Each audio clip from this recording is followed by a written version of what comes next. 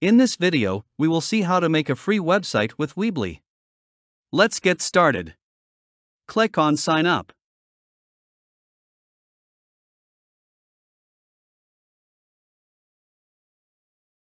Here, first of all, set your location. Enter your first name, last name, and email address, confirm your email address, and create a password.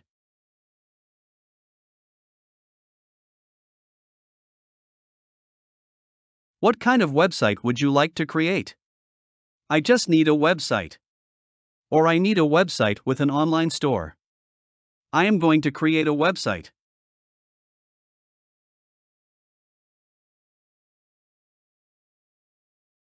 Here you have to select a theme for your website. There are a lot of themes, but you have to choose any theme that is suitable for your website. I will with this one.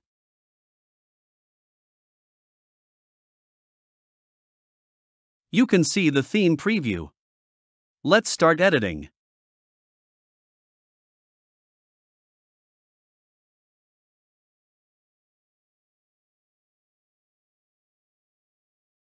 Connect your domain or you can search here for a new one. Let's have a look at the interface. On the left side, you can see the interface, the basic element that you can use to build your site.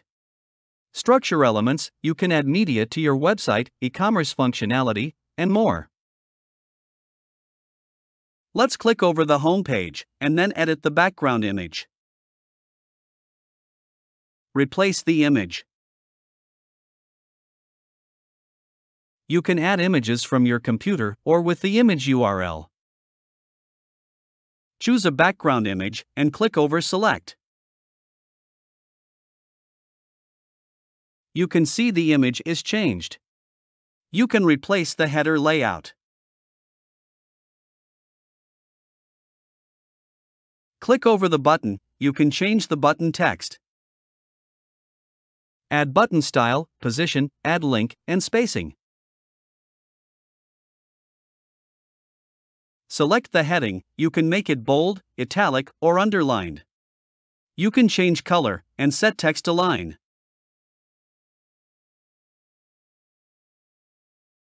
You can edit section headings or change positions by drag and drop. You can edit or replace this section image, lightbox, link, align, and space.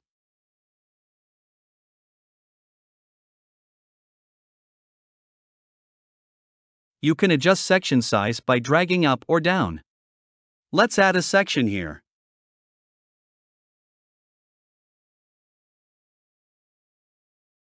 Choose a section layout.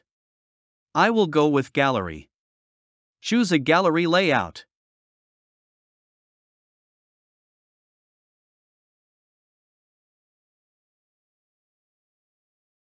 You can see the section is added.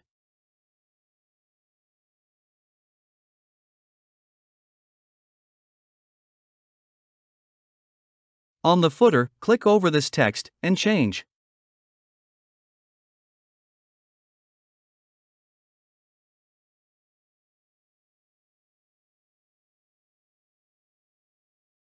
Now let's move on to the top navigation. You can see all website pages and add from this plus icon. In Theme, you can change the website theme and fonts.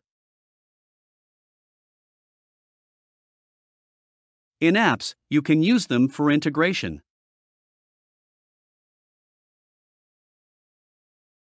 In settings, you can see general settings, website SEO, editors, members, my apps, and website blogs. You can visit their support system for help. Once you are all done, click over Publish. I hope you learned something from this video. If you have any question, don't hesitate to comment down below. And thank you for watching.